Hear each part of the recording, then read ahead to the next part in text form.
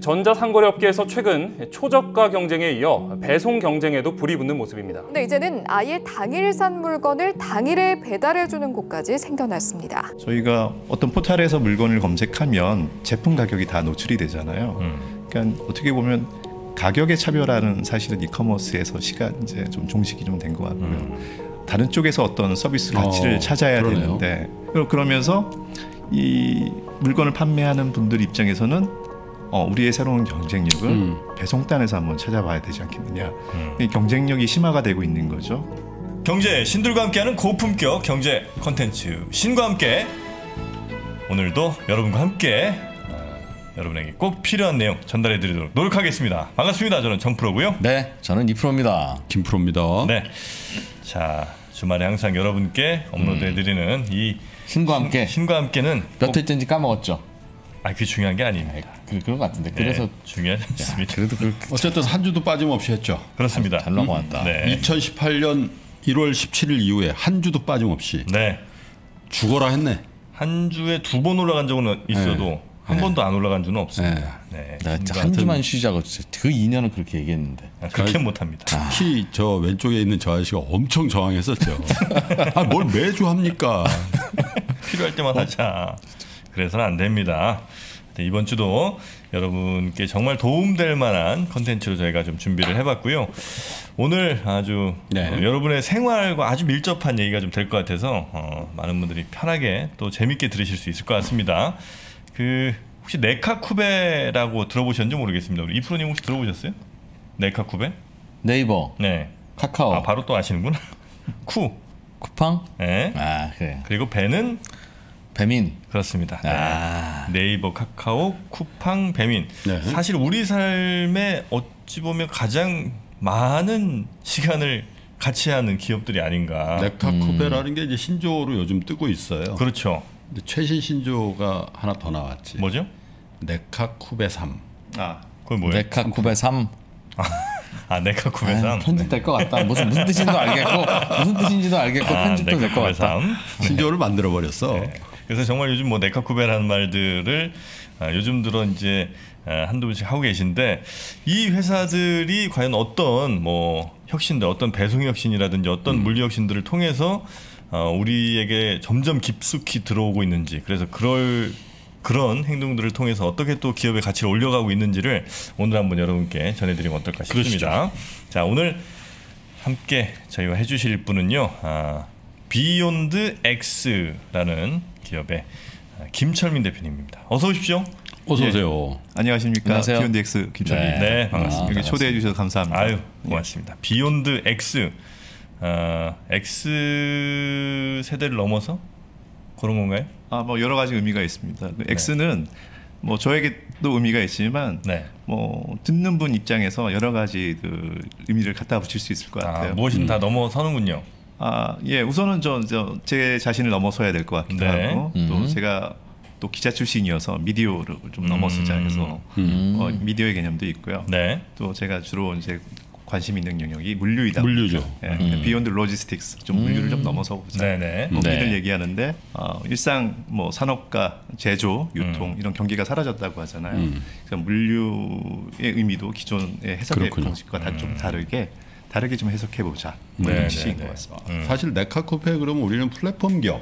그죠? 음, 그렇긴 네, 하네요. 네. 그렇게 이제 생각을 하는데 그 안에 굉장한 물류, 음, 예, 물류의 혁신이 있다. 음. 예, 그런 부분에 대해서 투자의 관점에서도 한번 네네. 들을 만한 얘기인 것 같아서 제가 예, 장시간 설득을 해서 방송을 안 한다고 저항하는 분을 끌고 왔죠. 네.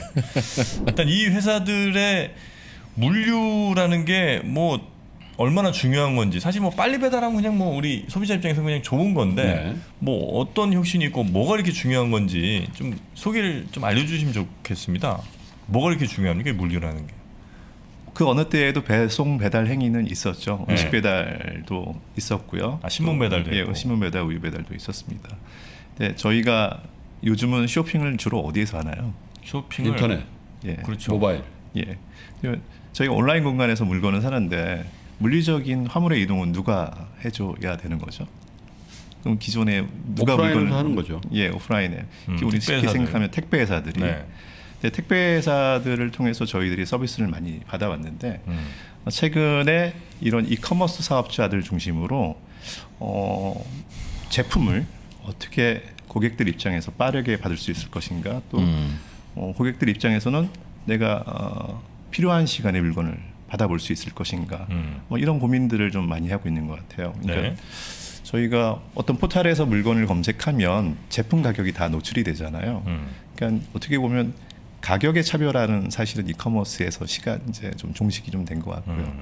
다른 쪽에서 어떤 서비스 가치를 어, 찾아야 그러네요. 되는데 이게 이제 배송단으로 오게 된 것 같아요. 음. 그러- 그러면서 이 물건을 판매하는 분들 입장에서는 어, 우리의 새로운 경쟁력을 음. 배송단에서 한번 찾아봐야 되지 않겠느냐. 음. 이 경쟁력이 심화가 되고 있는 거죠. 이제 쿠팡을 저도 작년부터 쓰기 시작했단 말이에요. 코로나 때문에 진짜 저항 오래 했어요. 이게 배송이 빠르고 혁신적이라서 주문을 하는 겁니까? 아니면 물건이 다양하고 싸서 그런 겁니까?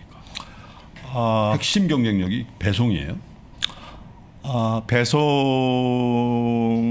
왜 혁신하는 건지 네. 뭐 쿠팡의 입장에서는 어, 빠른 배송이 과연 이커머스에서 경쟁력을 확보하는 어, 계기가 음. 언제부터 생각을 했는지에 대해서는 저도 사실은 잘 모르, 모릅니다. 음. 근데 중요한 포인트는 아, 사람들의 온라인 소비가 네. 오프라인 소비를 넘긴 지가 꽤 오래됐지 않습니까? 음. 예, 일상화가 되고 있는 것들이죠.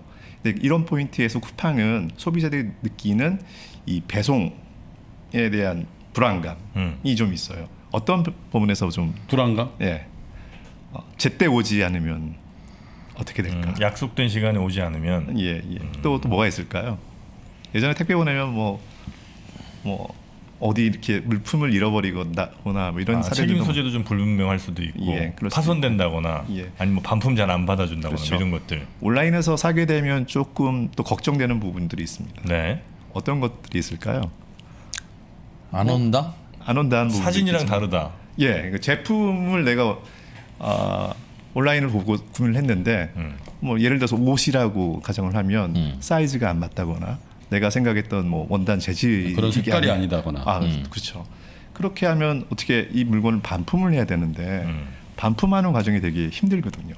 음. 예, 일반 택배사들은 배송을 해주는 건 되게 빠르게 하는데 네. 반품에서는 기본적으로 며칠이 소요되는지 뭐, 혹시 반품을 경험하신 분 그렇죠, 그렇죠. 예. 예, 꽤 오래 걸립니다. 네.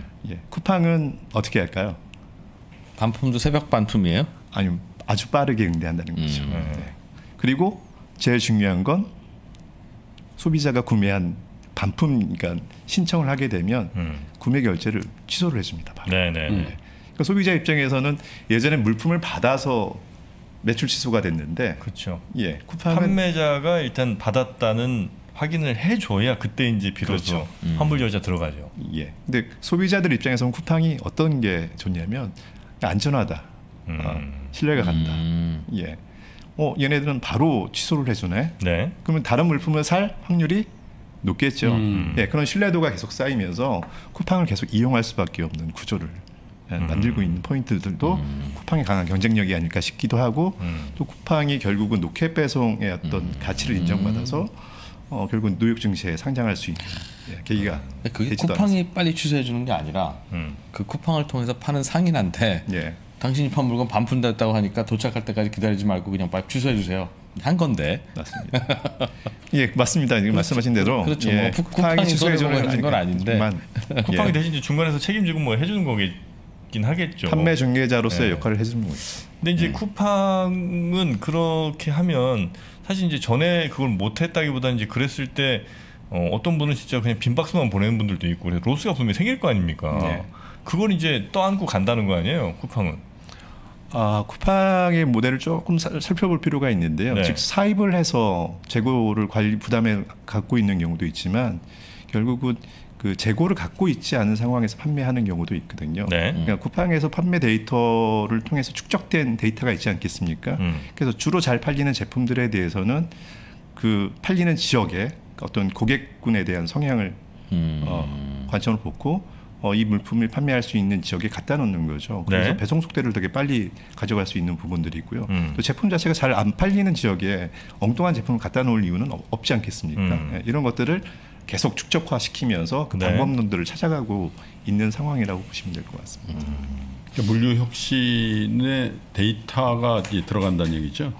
예, 그 뭐 좀 이야기를 하자면 2016년대 그 알리바바 마윈 회장이 신유통 개념을 하면서 음. 앞으로 이제 그 아주 초기에 전자상거래 모델은 다 없어질 것이다라고 멸망할 것이다 이렇게 얘기를 했죠. 그 다음에 이제 결국 e-commerce와 물류와 데이터가 결합하는 새로운 상거래 행위들이 등장할 것이다라고 음. 이야기를 했습니다.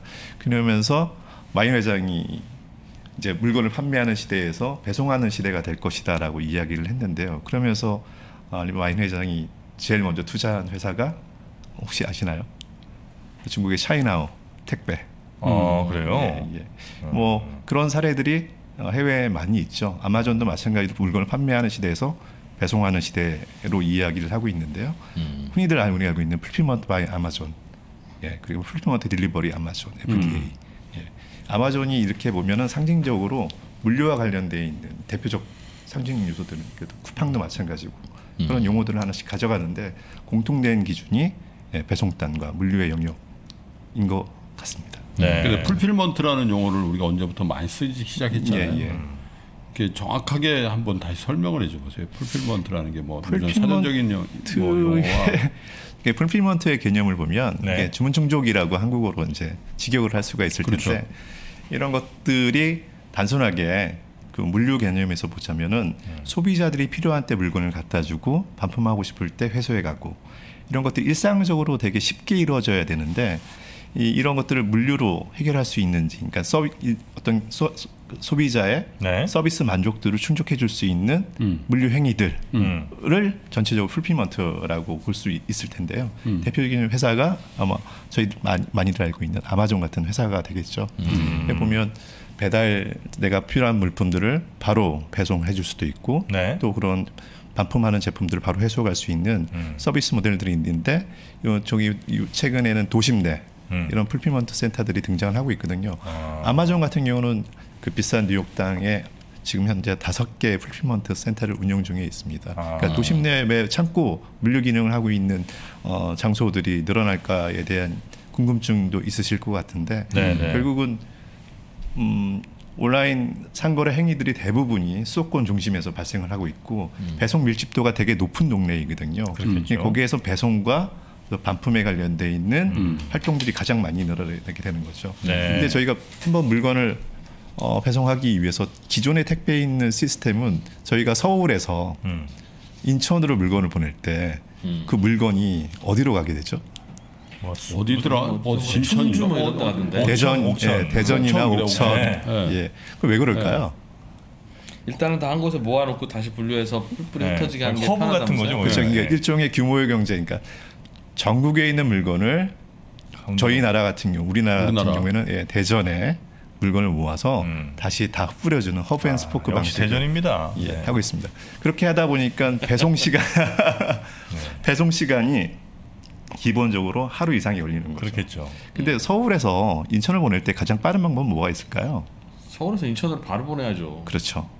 그런 P2P 개념의 배송 방식이 등장하고 있는데 음. 저희들이 알고 있는 퀵 서비스. 퀵 서비스라든가 어, 30분에 배송을 해준다거나 바로 네. 배송을 해준다는 그런 last mile delivery들이 음. 등장하게 된 것이죠. 음. 대표적인 기업들이 이제 이륜차 특성 업체들 스타트업들이 음. 있을 터이고요. 최근에 네이버라든가 카카오 또 11번가 같은 업체들이 어, 이쪽 이륜 쪽 음. 그 스타트업들에게 투자가 활성화되어 있는 요인들도 이와 같은 연계선상에 있다라고 보시면 될 것 같습니다. 음. 네. 근데 이제 뭐 흔히 micro fulfillment라는 얘기도 하고 라스트 mile delivery 서비스라는 음. 얘기도 하잖아요. 뭐 어떻게 우리가 아, 그러니까 이제 일반적으로 fulfillment는 막 물류도 함께 전체적인. 갖고 있으면서 이걸 이제 배송돼주고 환불돼주고 그 모든 걸 다 통합하는 이런 걸 이제 fulfillment라고 하는데 micro fulfillment가 또 있어요? 그러니까 그러니까 그 fulfillment 센터가 수도권 권역에 위치할 수도 있고요. 네. 도심 내로 들어올 수도 있습니다. 그러니까 아. 마이크로라는 얘기는 더 작은 규모가 규모의 물류 그러니까 fulfillment 센터가 도심 내에 위치하고 있다라고 그러니까 서울 시내에 위치하고 있다라고 생각하시면 될 것 아, 그러니까 같습니다. 사람들이 자주 찾는 뭐 이런 생필품이라든 이런 것들은 음. 미리 아, 갖다 놓는 거죠. 그렇죠. 어. 이제 바로바로 필요할 때마다 나가는 어, 꼭 철수네가 주문할 것 같지만 철수네가 안 하더라도 누군가에게서 영희네가 하더라 하는 거지. 잘 팔리는 제품들을 미리 갖다 놓는 건데. 네, 근데, 네, 네. 근데 그런데 기존적으로 이제 창고의 보관의 개념과는 좀 다른 개념입니다. 음. 일주일씩 이렇게 물건을 갖다 두는 장소는 아니고요. 그 네. 정도의 크기도 되진 않습니다. 아, 예, 이 일종의 fulfillment 서비스가 생긴 다음에 온라인 쇼핑몰 사장님 하기가 정말 편해졌다고 그러더라고요. 아, 예, 그래요? 맞습니다. 전에는 저 주변에 중고폰 장사하시는 분 한 분 있었어요. 예. 우리도 한 번 나왔었지. 착, 중고폰 네, 착한 텔레콤이라고. 아, 네네네. 어. 그분 처음에 중고폰 장사할 때는 일단 온라인 쇼핑몰을 만들어서 올려놓으면 누군가 살 거 아니겠어요. 음. 그럼 주문이 들어오면 그 깍대기 이런 거 사가지고 밤에 와서 아들하고 같이 그 테이프 붙이고 주소 쓰고 이거를 본인이 하더라고. 음. 그건 진골의 출신이에요. 아 그래요? 그거를 근데 본인이 할 수밖에 없죠. 누가 하겠어요. 그렇다고 네. 다 아니면 직원 고용인데 예. 지금은 그거를 아마존이면 아마존에서 해주고 음. 쿠팡이면 쿠팡에서 해주고 네이버도 네이버가 해줄 테니까 이거는 하지 마시고 사진이나 이쁜 거 잘 올리시고 열심히 댓글이나 달아주세요 하는 거잖아요, 그죠? 음. 이커머스 입장에서 fulfillment 서비스는 두 가지 축이 좀 있는 것 같아요. 그러니까 고객 입장에서는 서비스 응대력을 높이는 거고요. 네. 두 번째는 수익 모델을 만들 수 있습니다. 음. 그러니까 물건을 판매하는 어, 행위를 통해서도 매출을 일으킬 수 있지만 그 입점되어 있- 있는 seller들 판매자들을 물동량을 그러니까 물류를 처리 함께 해주면서 그렇죠. 네. 거기서 이윤이 발생할 수도 있거든요. 음. 어, 지금 음, 뭐 네이버 같은 경우는 네이버 fulfillment alliance NFA라고 해서 예. fulfillment 스타트업들을 8개 한 10개 정도를 규- 규합해 가지고 서비스를 제공 중에 있는데요. 음. 이 업체들을 이용하는 이유들은 네이버에서 판매하는 제품군들이 꽤 많지 않습니까? 패션도 네. 있고 식품도 있고 여러 가지 있는데 음. 이런 스타 fulfillment 스타트업들이 각자의 역량들이 이렇게 특화되어 있는 그 품목별로 아, 역할이 있어요. 제품별로. 예, 음. 제가 봤을 땐 엄청난 학습을 통해서 테스트를 하고 네. 결국은 그 카테고리 영역별로 어, 서비스를 제공할 수 있는 경쟁을 확보하기 위한 이런 테스트 과정이 아닐까 싶습니다. 그래서 제가 아까 네카쿠베 3이라고 한 게 그냥 농담이 아니라 네. 우리가 이제 그 디지털 컨텐츠의 fulfillment를 하고 있거든요. 예, 네, 우리가 이왕태 컴퍼니를 그 만들어 가지고 네네네. 컨텐츠만 만드세요. 우리가 제작해 가지고 다 이렇게 예, delivery 서비스 우리가 해드립니다. 그거 아닙니까 대표님들? 아니, 새벽에 뜬금 갑자기. 컨텐츠 올라오고 그런 거 아. 그거 아니에요? 아, 맞습니다 그게. 네. 그럼 남 얘기처럼 하세요? 아, 컨텐츠의 fulfillment. 그래. 네. 네. 디지털 컨텐츠 특히 경제 컨텐츠의 fulfillment. 음. 최준영 박사께서 처음 그 fulfillment를 쓴 분 아닙니까? 아 그렇죠 그렇죠. 네. 성공하고 계시고요 지금. 네. 배- 택배 이런 거 하는 회사들 그러니까 결국은 이 last mile 서비스라고도 하고 결국은 어, 배송 서비스 하는 회사들인데 음. 그러니까 네이버, 카카오, 쿠팡, 배민이 다 결국은 배송 서비스 하는 회사다 그 말이잖아요. 아, 우선은 물건을 온라인에서 판매를 하다 예. 보니까 그 온라인에서 판매하는 서비스 극대화 요인이 네. 오프라인 영역에 있는 거죠. 음. 그러니까 오프라인에서 제, 제품을 판매를 하게 되면은 어떻게든 오프라인 공간을 이동을 하게 되고 해야 되니까 예, 예. 그게 좀 어렵지. 누군가가 이 배송을 해줘야 되는데 음. 이또이 네 쿠카 그러니까 배민을 제외한 음. 네. 네이버 쿠팡 카카오의 배송 배달 방식은 좀 다른 게 접근하고 있거든요. 이 부분도 저희가 한번 살펴볼 어떻게 달라요? 아 네이버는 직접 물류를 하지 않지 않습니까? 네. 예, 쿠팡은 직접 물류를 직접 물류라면 자기 직원들이 배달해 주냐 아니면 택배 회사 쓰냐 그 차이예요? 있습니다. 어, 사- 사내 물류 관련되어 있는 부서가 있거나 자회사가 있는 경우를 직접 물류를 음. 하게 되는 경우가 예. 있고요. 네이버는 잘 아시다시피 뭐 대한통운. CJ 대한 통운이라든가 또 신세계 쓰기라든가 공산품은 CJ 대한 통운, 뭐 신선식품 영역은 신- 신세계 뭐 이런 식으로 어, 위탁을 주는 거죠. 음. 예, 그거 관련되어 있는 어, 풀필먼트라든가 이런 컨트롤 중앙 제어 통제력을 갖고 있고요. 네이버는 네.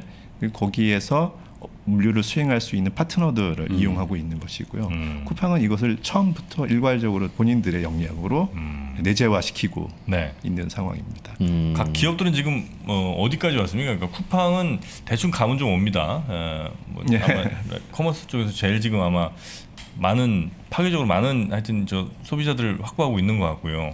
나머지 네이버랑 카카오랑 배민은 약간 좀 이제 아마 좀 카테고리 좀 다를 수 있으니까 예. 네이버 카카오는 지금 어디까지 왔습니까? 그래서 어 우선 네이버는 되게 그 물류 쪽에 대한 도전들을 꽤 많이 앞으로 하게 되지 않을까. 네이버가 예. 음. 어 결국은 뭐 대한민국에서 가장 큰 물류 회사와 협업을 하게 된 배경도 그게 있지 않을까 싶기도 하고요.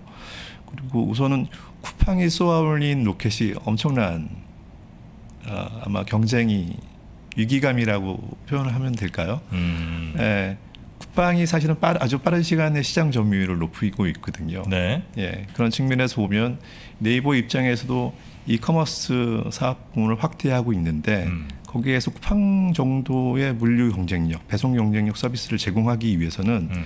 음, 쿠팡처럼 우리가 물류를 내재화시켜서 그 내재화시키는 과정에서 또 물류센터도 짓고 차량도 화물 운송 차량도 구비를 해야 되고 또 쿠팡의 사례를 보면 어마어마한 투자를 감행을 했어요.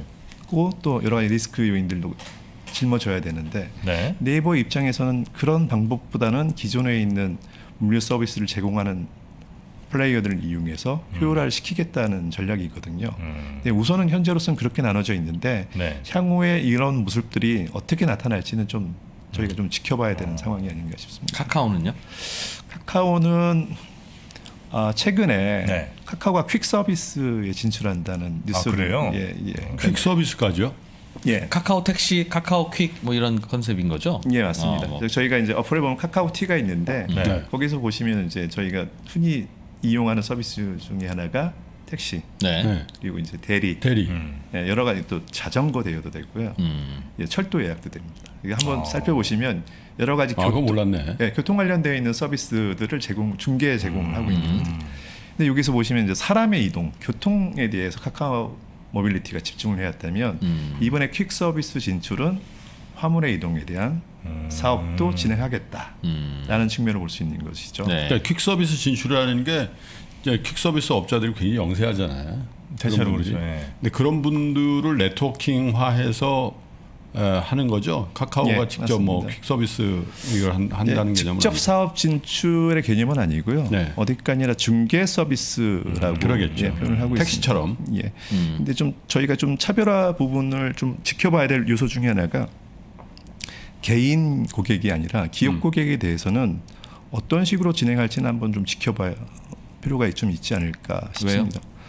어, 우선 기업 고객에 대한 서비스 quality를 유지하기 위해서는 어, 일정 부분 책임을 회사가 가져가야 되는 부분이거든요. 그러니까 대기업들은 거래를 하기 위해서 credit이 있어야 되는데 그렇죠. 예, 중소기업이나 일종의 영세한 업자들하고는 계약 관계가 잘 성립이 되지 못하잖아요. 그런 것들을 허들을 좀 제거하기 위해서는 네. 카카오 모빌리티 입장에서는 기업 고객 유치를 하기 위해서는 직접 하는 방법들도 하여튼 그 시장이 분명히 저도 예전에 뭐 되게 중요한 서류인데 네. 이게 원본 네. 원본을 어디 보내야 될 상황이 네. 있잖아요. 네. 뭐 카피해도 뭐 되, 는 그게 아니 아니. 네. 근데 이거 만약에 중간에. 잃어, 버렸다 분실했다 그러면 뭐 죽을 정도는 아닌데 굉장히 불편해지는. 음. 아 근데 그게 받았다는 얘기 딱 전화 올 때까지 굉장히 두근두근 할 때가 있거든. 어. 그죠? 이- 아, 실제로. 네. 예, 저희가 비근한 예로 그 택시나 대리기사님을 불렀을 때 네. 그분들이 어디쯤 오고 있는지를 저희가 어플을 통해서 확인을 할 수 있잖아요. 음. 이제 퀵도 가능하지 않겠습니까? 내 물품이 어디쯤 오고 있는지를 확인할 수 있잖아요. 음, 그러니까 이 그렇겠네요. 디지털 경험을 통해서 예, 내 제품이 언제쯤 올지에 대한 시간 예측도 가능하게 된 것이고요. 무엇보다 중요한 거는 아, 그 물품에 대한 분실 이라는 파손에 대한 그러니까. 걱정들이 있을 텐데 네. 이런 것들을 소비자의 어떤 불안 심리들을 해결할 수 있는 요인들을 네. 예, 디지털 서비스를 통해서 음. 예, 음. 안전하게 공급해 줄 수 있는 그런 요인들도 좀 있겠죠. 음, 아, 그런 쪽으로 또 손을 뻗치고 있군요. 음. 자, 그러면 이제 네카쿠베에 어, 앞으로 이제 이 친구들 어, 어디까지 발전해 나갈지는 사실은 지금 뭐 예측하기는 좀 섣부른 상황인 거죠. 지금 예, 뭐, 제 뭐 상상력을 좀 동원하자면, 네. 예, 온라인 서비스가 이 계속 늘어나지 않겠습니까? 아무래도 그렇겠죠. 예. 최근에 지금 가장 공들이고 있는 영역이 이제 패션인 것 같아요. 패션이요? 예, 패션. 옷 예. 그 올해 꽤 오래 전부터 뭐 저희는 온라인을 통해서 물- 어, 옷을 옷, 옷을 많이 구매를 했는데 네. 최근에 뉴스 내용을 좀 보시면은 어, 네이버라든가 음. 카카오라든가 이런 종합몰들이 이 vertical commerce 영역에 대해 관심을 많이 갖고 있습니다. 그 아시겠지만 카카오가 최근에 인수한 패션 업체가 하나 있는데 네. 지그재그. 지그재그? 예. 지그재그. 지그재그 예. 엄청 비싸던데. 네, 맞습니다. 예? 아? 저도 아, 저도 아니라 아닌데. 기업 기업이. 기업이 아, 옷은 쌉니다. 예. 그러니까 패션 쪽으로 카테고리 영역을 확장하고 네. 거기에 집중하고 있는 이유가 뭐라고 생각을 하세요 혹시? 패션에 집중하는 이유. 예. 그거 하나 비었지 않았어요? 나머지는 다 쿠팡에 가면 다 있는데 어. 이상하게 옷만 없어. 네. 아 쿠팡에 옷이 없어요? 옷살 때는 쿠팡 가서 샀다는 얘기 못 들었을 거 아니겠어요? 어. 왜 옷은 그게 안 되지? 뭐 저희가 이제 통계까지는 아니더라도 제가 음. 이제 뭐 일선에 있는 이커머스 사업자분들이라든가 홈쇼핑에 계신 관계자분들 얘기 들으면 패션업 물류하기가 가장 힘들다라고 음. 왜 그럴까요? 반품 더럽게 많죠. 네, 반품하죠. 10개 구매하면 6개가 반품이래요. 아 그 정도예요? 그러니까 물류비가 꽤 많이 들어가는 영역이기도 하죠. 어. 반품까지 생각하면 또 제품 영역권을 보면은 사이즈, 디자인 또 저희 계, 계절마다 또 옷을 바꿔 입어야 음, 되잖아요. 음, 종 음. 옷가지 수가 너무 많은 거예요. 음. 그렇다 보니까는 전통적인 패션업들은 디자인하고 생산한 다음에 후판매를 했었습니다. 음. 그렇죠? 그러니까 오늘 재고에 대한 부담이 가장 많은 네네. 산업이기도 음, 합니다. 예. 그러니까 온라인 소비를 활성화시키기 위해서는 패션업이 되게 구매 빈도도 이렇게 낮은 산업, 낮은 품목은 아니거든요. 음. 그러니까 자주 사람들이 옷을 사, 사 입게 됩니다. 특히 저희 같은 밀레니얼 세대들은 뭐 비싼 옷은 사 입기는 힘들지만 음. 예, 저렴한 가격의 옷들을 뭐 1년에 자주 구매를 해서 음. 또뭐 1년 입고 버리고 뭐 이런 식의 소비 형태를 갖고 있거든요. 그래서 어떻게 보면 잠재적인 소비자들을 잡기 위해서 패션업에 진출하는 경우도 있지만 패션업을 주로 그 구매하시는 분들이 여성 고객들이시고 아. 20, 30대이시잖아요. 근데 그 그분들이 다른 것도 많이 산다. 다른 카테고리로 확장성이 더 많은 거죠. 근데 옷을 온라인으로 살 정도면 예. 거의 뭐 그냥 온라인에서 사신다고 생각하면 돼요. 예. 그런 측면에서 보면은 패션이 갖고 있는 아. 어, 여러 가지 장점들을 어, 많이들 기회 요인으로 보고 있는 거죠. 그래서 저는 뭐 오프라인에서 온라인화되고 있는 상품 품목들이 꽤 있는데 네. 저희가 이제 신선식품 영역이 활성화됐었잖아요. 음. 네, 그 다음에 이제 패션 아, 쪽으로 오고 있고, 점점 어려운 물류, 어려운 쇼핑 쪽으로 예, 오는군요. 패션보다 또 어려운 또 품목이 또 뭐가 있을까요? 패션보다 더 어려운 거? 네, 이제 가구 시장도 네? 가구. 아, 가구. 가구가 반품, 패션보다 어려워요? 반품 들어오면 아, 죽음이지. 우선은 이제 구매 빈도는 패션에 비해서는 좀 낮죠. 훨씬 예, 뭐 떨어지죠. 1년에 한, 한두, 한 번, 한두 번 살까요? 뭐 이- 이런 정도의 가구? 품목인데 네. 아시겠지만 일반적으로 10년 된 것 같은데. 택배를 통해서 가구를 배송할 수가 없습니다. 왜냐하면 택배 회사에서 네. 규격화 시켰기 때문에 아. 큰 짐들은 택배 아, 자체 배송이죠. 자체. 배송. 네, 그렇겠죠. 음. 그리고 경험을 해보시면 아시겠지만 온라인에서 물건을 사서 어, 가구를 집에 드릴 때에는 여러 가지 장애 요인들이 되게 많거든요. 왜냐하면 부피가 크잖아요. 그렇죠. 지게차 불러야 되고. 아, 지게차도 불러야 되고 엘리베이터에 세울 수 있는지 여부도 해야 되고 설치가 또 필요로 합니다. 아, 여러 사다리 차, 차 예, 지게차. 여러 가지 부대 서비스들이 포함이 돼야 되는데 기존에 있는 원가 구조 계산으로 택배 비로는 음. 가구를 나눌 수가 없게 되는 뭐 거죠. 그렇겠죠. 예, 최근에 뭐 어, 가구 쪽, living 쪽의 이커머스 강자로 떠오르고 있는 오늘의 집 같은 경우가 예. 자체적으로 물류를 아 자체 물류예요 거기가? 예, 음, 아, 물류 그래서. 전문가를 영입을 해서 와. 예, 서비스를 제공하려고 합니다. 사실은 쿠팡은 그에 앞서서 설치 서비스를 했었어요. 가구 시장에 대해서도. 음. 예, 하우저라는 업체하고 그런 어, 어, 서비스를 제공 중에 있었는데 이 가구도 온라인화되면서 음. 예, 배송 수요가 늘어나고 있다는 거죠. 음. 예, 이런 식으로 저희가 기존의 오프라인에서 온라인으로 오는 상품 카테고리가 확장되고 있는데 이 물품에 따라서 배송해야 되는 구조가 다르고 네. 응대해야 하는 것들이 다 달라지거든요. 음. 근데 기존에서 제공하고 있는 서비스 우리 흔히들 얘기하는 택배가 다 담을 수가 없는 거예요. 아. 그래서 그 물류 서비스를 제공하는 다양한 업체들이 등장하게 되는 거고 네. 그런 물류 스타트업들이 이제 빛을 보고 있다, 예, 보기 시작했다 이렇게 보시면 될 것 같습니다. 아, 그러니까 오늘의 집 같은 회사는 강점이 다양한 다, 가구와 생활용품을 이쁘게 전시해서 사람을 홀린다가 아니라 그걸 효율적으로 배송을 해드립니다가 더 중요한 경쟁력이군요. 어, 우선은 뭐 흔히들 얘기하지만 오네집은 이커머스를 하기 전에 커뮤니티가 활성화된 예, 예. 곳이었잖아요. 그러니까 내 집을 꾸미기 위해서 남의 집을 훔쳐보는 음. 예. 그래서 어 이렇게 만들고 싶다 해서 그런 제품들을 구경하다가 음. 거기 보시면 이렇게 플러스 버튼이 있습니다. 네. 예, 거기 이렇게 태그를 하면 제품 정보가 나오게 되거든요. 네. 그 제품 정보를 통해서 소비자가 구매까지 할 수 있는 유인을 통해서 e-commerce를 네. 활성화시키고 있습니다. 근데 아까 측면도 말씀드렸지만 물건을 판매하는 시대에서 음. 배송까지 해줘야겠다. 예, 오늘의 집 입장에서는 그런 서비스까지도 넘어서야 되는 게 일종의 허들 이제 목표가 된 것이죠. 음. 예. 그래서 그런 고객 만족도를 끌어올리는 겁니다. 왜냐하면 오늘 집은 living 가구와 관련돼 있는 제품 데이터가 축적이 되어 있으니까 예. 어떤 고객이 어떤 제품의 취향이 있는 것에 대한 데이터를 계속 추적하게 되지 않겠습니까? 네. 그것도 또 제한을 할 수 있겠죠. 이런 상품이 너희한테 어울릴 것 같아. 음. 예, 하면서 물품의 판매 행위를 높이면서 그걸 직접 배송해주고 설치해주는. 근데 그 가구 서비스를 받다 보면 음. 불만 요소들이 꽤 많이 있어요. 이렇게 포털에 검색을 하시면 어떤 요인에서 소비자들의 불만이 많으실까요? 가구 쇼핑이요? 예, 가구를 이렇게 배송 받을 때, 어, 음. 중간에 흠집 났다? 예, 그런 것도 있을 수 있겠죠. 음. 아니, 왔는데 너무 오래 걸린다. 왔는데 네. 어, 집에 물건을 나를 사람이 없으면 두 명이서 물건을 나눠야 되는 경우가 음, 있습니다. 음, 음, 가구는 그렇죠. 기본적으로 2인 1조 음, 음, 네, 네. 맞아요. 예.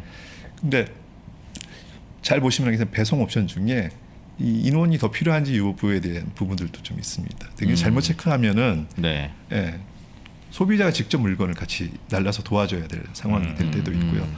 아까 김프로님께서 말씀하신 대로 서- 어, 빌라 같은 경우에는 아파트는 엘리베이터가 있으니까 어떻게든 올라갈 수 있는데 음. 엘리베이터가 없는 빌라 같은 경우에는 2층, 3층 같은 경우에는 사다리 차가 필요할 수도 있거든요. 음. 네, 네. 그러면 그게 다 비용이잖아요. 음. 근데 온라인에서 샀을 때는 그 비용에 대해서 소비자들이 몰랐던 거죠. 음. 네, 현장에 와서 이런 것 때문에 안 됩니다 해서 사다리차를 불렀을 때 비용이 증가. 배보다 배꼽이 클 때가 그렇죠. 있죠. 예, 예. 그렇게 되면은 어, 뭐 비용을 들여서 물건을 드리면 되는데 거기에서 소비자들의 경험치가 많이 음. 예, 안 좋아지겠죠. 그러면 그 쇼핑몰을 이용한 고객이 다시 그 쇼핑몰을 재방문할 의사가 있을까요? 예, 거기에 고객 경험이 많이 망가지다 보니 그런 부분에 대해서 신경을 더 써올 수밖에 없는. 댓글 엄청 안 좋아지죠. 어떡하죠, 근데? 스카이 7만 원짜리 싸다고 장식장을 샀는데 음. 엘리베이터 없어. 사다리차 불렀어. 17만 원 나와 버리는 거지. 예, 또 무엇보다 중요한 게 이 현장에서 일하시는 모든 기사님들이 워낙 많은 그, 그, 그 배송 활동들을 하시다 다 보니까 친절한 건 아니야. 응대를 다 일일이 못 하세요. 음. 예, 그런 부분들도 있어서 어, 여기에서 시간이 지연이 되면 다 그분들한테는 비용이 되거든요. 그렇죠. 네. 그래서 현장에서 좀 이렇게 보면 해프닝들이 많이 벌어지다 보니까 그러겠네. 되는데 되네 안 되네 뭐. 예, 내려놓고 가버리는 게- 케이스들이 있죠. 그렇죠. 그거 어떻게 바꿉니까? 그거 개선해야 될 텐데. 어, 그래서 오늘의 집 같은 경우에는 이제 전국에 있는 아파트 지도를 갖고 있대요. 아파트 지도를 예, 그래서 이 구조가 어떻게 되어 있는 몇 평형에 따라서 지방구를 할수 있는 아. 것들이죠. 그러니까 아, 주소만 보- 보면 이 제품이 어떻게 가야 될지에 대해서 이제 답을 찾아갈 수 있는 음. 통계가 생기겠죠. 예, 이런 것들을 통해서 배송 성공률을 높이는. 예, 그런 구조로 계속 연구 중이라고 이야기를 들었습니다. 고민이 많겠구나. 아파트야 뭐 별게 오히려 별게 아닌데. 그건 뭐 아파트 그 인포메이션은 뭐 사실 시간의 문제 아니야. 그거 뭐 요즘도 아파트 수집하는데 뭐 예를 어렵진 들면 않을 단독이다. 예. 빌라다. 음, 그렇죠. 빌라 아파트는 문제가 아닌데 전문인데. 오히려 아파트 아닌 곳들을 어떻게 배송할 거냐, 그리고 어떻게 대- 설득할 거냐. 전통적으로 이 가구 제조 쪽에 계신 분들이 뭐 유명한 음, 뭐 대기업 브랜드들도 있지만 대부분의 브랜드들이 포천의 중소 형태의 영세한 업장을 갖고 계시거든요. 네. 이런 분들이 서비스 응대가 아, 매우 낮을 수밖에 없는 음. 거죠. 그리고 그분들이 뭐 저희가 이제 예를 들어서 주문이 들어오면 재고가 있는 제품을 드린, 주는 게 아니라 주문이 들어온과 동시에 제작을 한다고 합니다. 예. 그러니까 일주일에서 보름이 걸리는 이유가 음, 거기에 있거든요. 그렇죠. 근데 오늘 집이 구현하고자 하는 서비스들은 그런 수- 사전에 대한 수요 예측을 통해서 제품의 일종의 잘 나가는 제품에 대한 재고를 가지고 있고 네네. 그런 것들을 빠르게 배송해 줄 수 있고 설치까지 해줄 수 있는 구조가 된다면 소비자 만족도가 더 높아질 수 있는 요인이 그럴 수 있겠네요. 예. 자, 그럼 어떻게 오늘 어, 우리 네카쿠베 경제학이라는 책을 쓰신 예. 우리 김철민 대표님. 김철민 대표님과 요 물류 혁신 또 우리 기업들의 이런 변화되는 모습들 음. 요 정도로 정리하면 괜찮을까요? 혹시 저 못다 하신 말씀이 좀, 좀 중요한 말씀이 있으시면 좀 더 들어볼까요? 물류가 네. 좀더 일상적인 영역으로 지금 많이 들어오고 있는데 네. 에, 그에 비해서 좀 이렇게 이해가 좀 어려운 영역인 것 같아요. 그러니까 저 같은 경우는 부모 아이들이 아빠 뭐 하냐 그러면 이제 물류 이야기를 해주면 결국 이제 택배로 귀결이 되는데 네. 지금 물류 관련된 서비스들이 되게 다양해지고 있거든요. 음. 예, 그런 측면에서 보면 어, 물류 산업에 대한 좀 이해도 이해가 좀 폭넓었으면 좋겠다라는 생각을 하고 있고요. 네, 네. 그리고 그 서비스 혁신을 위해서 노력하고 있는 많은 스타트업들이 좀 있습니다. 음. 그 스타트업의 성장 부분들도 좀 관심 있게 살펴봐 주셨으면 좋겠고 아. 그리고 그런 것들이 결국은 대기업들과의 어떤 협업이 이제 많이 늘어나고 있지 않습니까? 음. 예, 이런 측면에서도 다양한 플레이어들이 좀 등장할 수 있는 음. 예, 그런 시장이 되었으면 좀 좋겠다는 생각이 좀 듭니다. 네, 알겠습니다. 네. 오늘 저 네카 쿠베 어, 신조어입니다. 네이버, 카카오, 쿠팡, 배달의 민족. 아, 이 회사들은 어떻게 지금 우리나라의 물류를 우린 뭐 사실 소비자 입장에서는 별로 이렇게 신경 쓸 것도 없긴 하지만 음. 그래도 이 뒷단에서 어마어마한 지금 전쟁들 어마어마한 변화들이 지금 일어나고 있다는 아, 그 내용을 이제 책으로 써주신 아, 김철민 대표님과 함께 오늘 신과 함께 해봤고요. 아, 다음에 또 물류의 변화 또 이 거대 공룡 기업들이 어떻게 에, 또 싸우는지 그 변화의 시점에 한번 다시 모시고 이야기 더 들어보도록 음, 하겠습니다. 자 오늘 함께해 주신 비욘드 X의 김철민 대표님 대단히 고맙습니다. 예, 고맙습니다. 네. 감사합니다. 네. 금융시장의 높아지는 불확실성 속에서 살아남는 방법. 부의 시나리오를 통해 전해드리겠습니다.